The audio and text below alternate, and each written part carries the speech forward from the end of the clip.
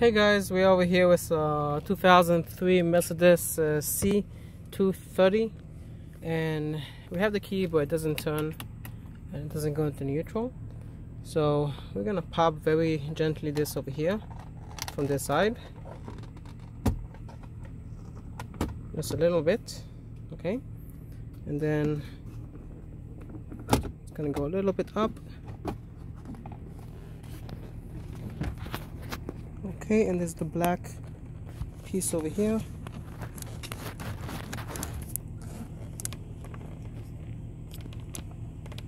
Okay. So the black piece over there we're gonna press it down. Press it down then you can move it in your neutral and that's it